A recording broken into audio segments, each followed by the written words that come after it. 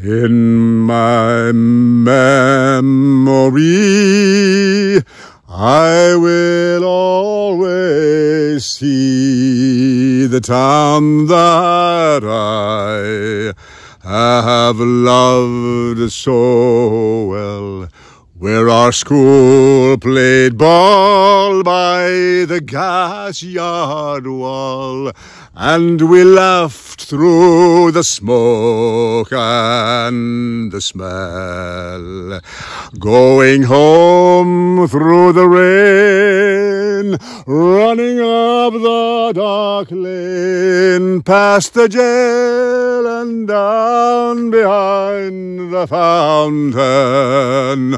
Those were happy days so many, many ways. In the town I love